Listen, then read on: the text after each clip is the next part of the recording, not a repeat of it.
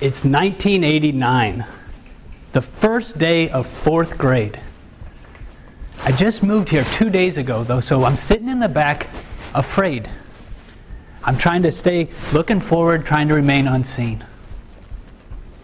25 years later, I'm standing here.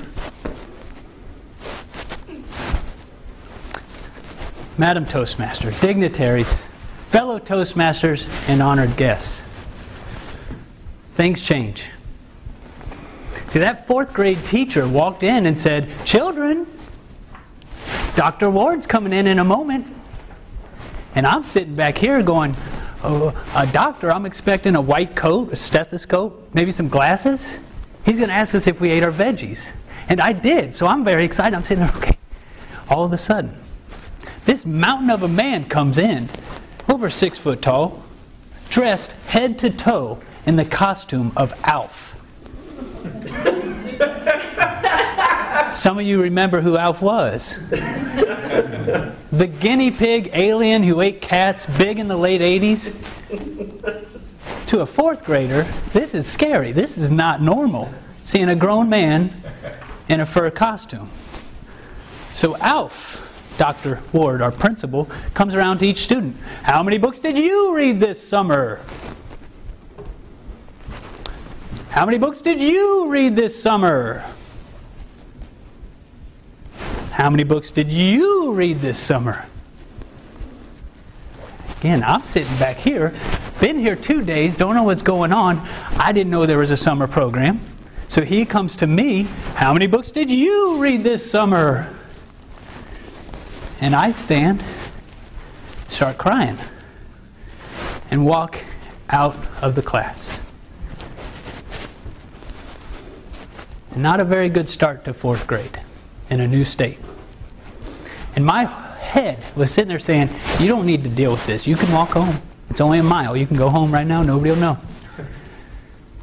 But my heart said, You have to go back in. And I think we all have that choice. We have the choice to confront our fears and have that courage to do what you need to do. See, that speech, one month ago, I finished writing that speech. I was in California. I woke up at 2.56 a.m. I just had to finish this speech. I was inspired.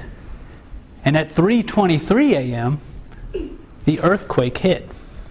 I was sitting there typing, and the chair just made a waving sound. Phil. I didn't know if I moved it. I didn't know what happened, but I kind of, okay, everything's stable. But that earthquake said, Well, you need to finish this speech.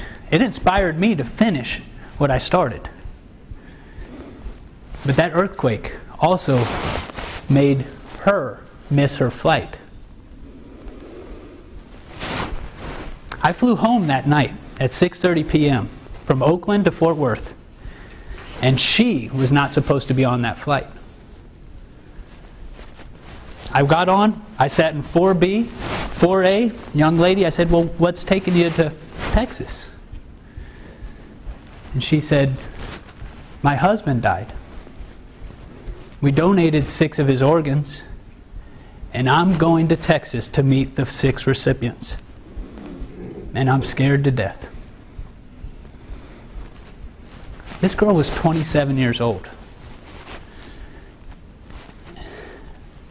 For three hours, I sat like this and we talked nonstop.